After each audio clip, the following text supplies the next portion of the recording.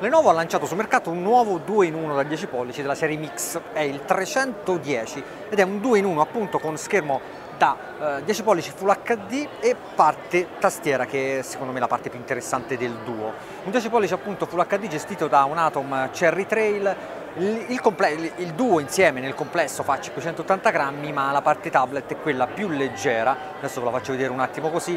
eh, di lato le porte riguardano, sono la solita dotazione, micro HDMI, micro USB, c'è il bilanciere del volume, c'è il lettore di schede, eccolo qua, micro USB, ma la parte tablet, dicevo, anche con queste cornici un po' grandi, insomma, non è poi eh, quella più interessante. Quello che mi interessa è farvi vedere, farvi notare la, eh, la tastiera. La tastiera è, è spessa, eh, la parte principale dei 580 grammi, è una tastiera che ricorda quella dell'Asus T100C, non so se, eh, se ricordate, poi mai arrivato in Italia, perché le finiture sono quelle, sono cromate in quel modo e eh, il touchpad anche ha questa stessa, quella su quella stessa dimensione. È molto stabile, molto solida, perché è spessa, perché appunto è pesante. Da un lato ha una USB a grandezza standard, dall'altra c'è un'altra USB qui rovinata, danneggiata. Questo sample che stiamo provando è abbastanza messo male da questo punto di vista, però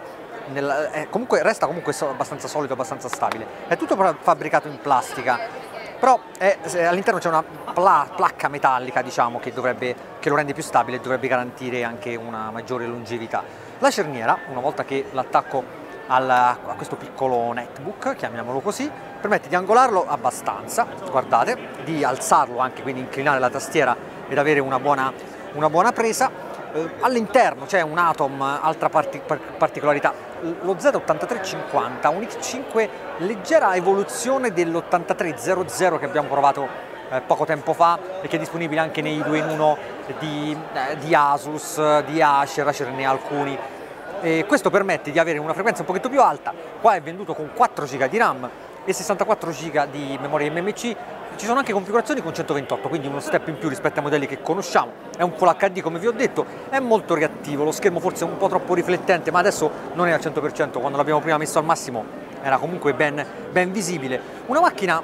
carina, potrebbe essere veramente la sorpresa di questo eh, di questa prima parte, prima metà del 2016 anche nel prezzo. Poi guardate a due fotocamere non è semplice trovare una 10 anche posteriore no? su un tablet come questo. Prezzo dicevo soltanto 229 dollari negli Stati Uniti,